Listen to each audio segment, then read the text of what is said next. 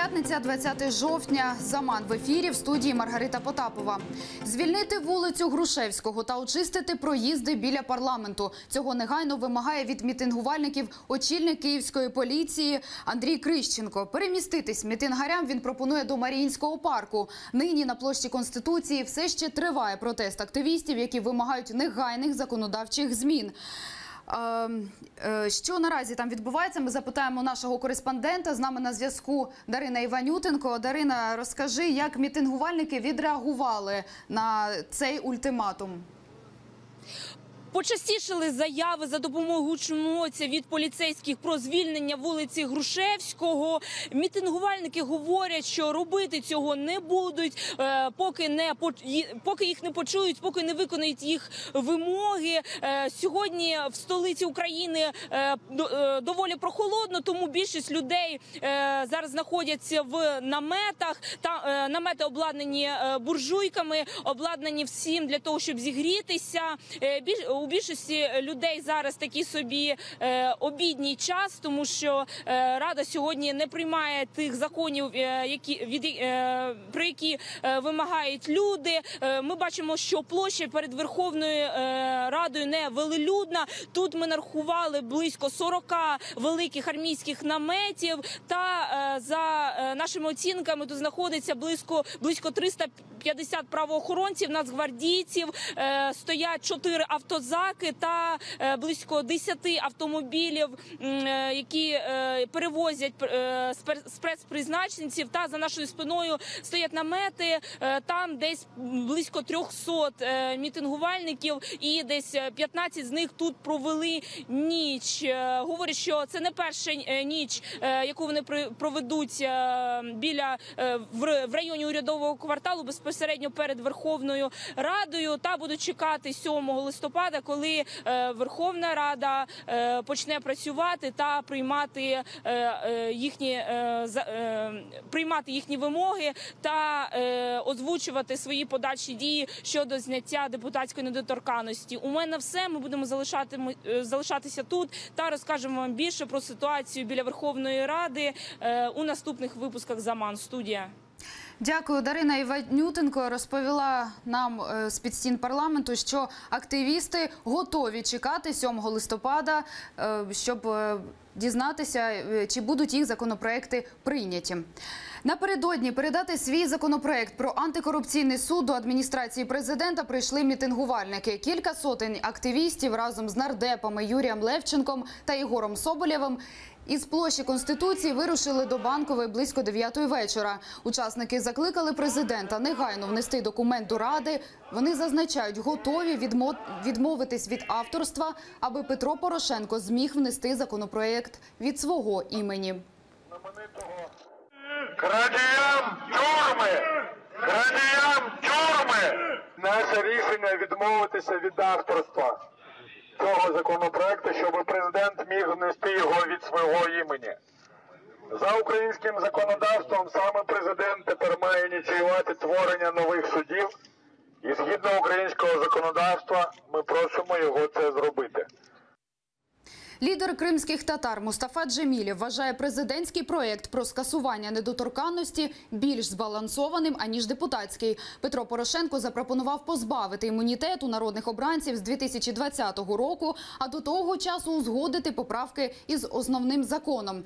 Натомість чорновий варіант закону про реінтеграцію Мустафа Джемілєв розкритикував. Він категорично проти розділення питань повернення окупованих територій Донбасу і Криму. Якщо й голосувати за законопроект, то тільки тоді, коли його дія стосуватиметься і анексованого півострова.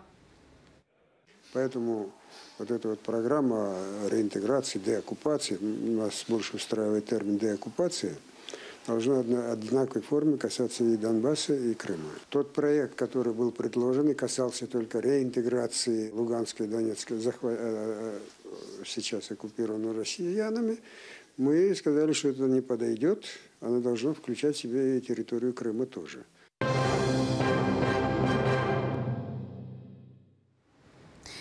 Веденням війни назвала Нікі Хейлі втручання Росії у вибори американського президента. Про це спецпредставник США заявила у Нью-Йорку під час виступу в інституті Джорджа Буша. Дії Москви були спрямовані на створення хаосу. Нині американські спецслужби, зокрема ФБР, розслідують заяви про змову між Росією і представниками кампанії президента Дональда Трампа. Аналітики розвідки вже дійшли висновку, що Росія намагалася допомогти Трампові виграти президентські перегони шляхом дискредитації його опонентки Хіларі Клінтон. Коли країна втручається у вибори іншої країни, це війна. Росія не може нічого виграти. У них не вистачає військових, у них немає сильної економіки. Тому вони інвестують у те, щоб створити хаос. Чому американці антиросійські? Чому ми ввели санкції? Ну не втручайтеся в наші вибори, і ми не будемо такими антиросійськими. І я вважаю, що нам потрібно дотримуватися цього.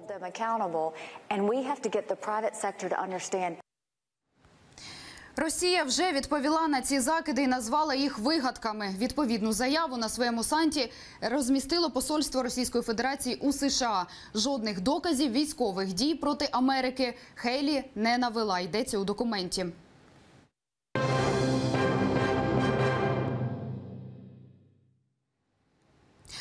Апеляцію на арешт затриманих у Бахчисараї кримських татар розглядає у підконтрольному окупованій владі суд Сімферополя. Раніше Рефата Алімова, Мемета Білялова та Марлена Асанова заарештували під час слідства на два місяці. Тоді адвокати наполягали, оскаржуватимуть ухвалу.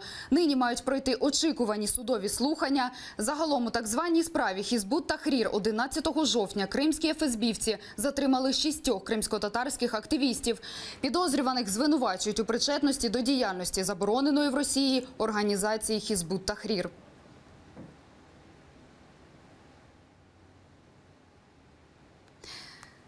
Захоплений Крим без права на протест. У Києві кримсько-татарські активісти презентували інфографіку з обшуками та облавами на окупованому Росією півострові. Правозахисники та адвокати кажуть, фундаментальні права людини систематично порушуються.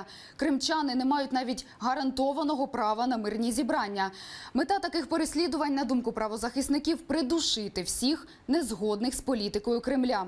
Найяскравіший приклад – справа Ахтема Чийгоза. Його засудили до восьми років позбавлення волі за надуманими звинуваченнями.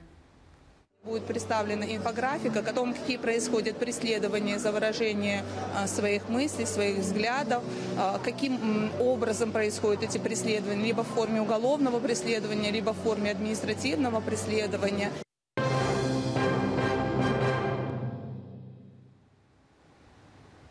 Винуватиці ДТП у Харкові сьогодні мають обрати запобіжний захід. В суді мають вирішити, де саме – у СІЗО чи на волі. 20-річна Олена Зайцева чекатиме суду. Кермувальницю «Лексуса» слідчі обґрунтовано підозрюють в порушенні правил дорожнього руху, що спричинило загибель людей. Експрес-дослідження крові показали, що алкоголю чи наркотичних речовин у неї не виявлено. Обласна прокуратура оголосила Олені Зайцевій підозру. Правоохоронці кажуть, що зі слідством Зайцева співпрацювати відмовилась, оскільки не хоче свідчити проти себе. Максимальне покарання, що загрожує дівчині 10 років позбавлення волі. Радник міністра внутрішніх справ Антон Геращенко припускає, що страшна аварія в Харкові могла стати результатом автомобільних перегонів. Таку заяву він зробив у своєму Фейсбуці. Мовляв, це стає очевидним після перегляду відео з камер спостереження. Лексус, виявляється, брав участь у перегонах по вечірньому Харкову. Слідство тепер має встановити особу водія ще одного авто, яке брало участь в перегонах. Він буде важливим свідком у справі про встановлення винних у харківській трагедії, за яку настане невідворотні покарання. І на цьому це все, що ми встигаємо вам розповісти. Наступний випуск «Заман» вже менш ніж за годину. Дочекайтеся та залишайтеся з нами.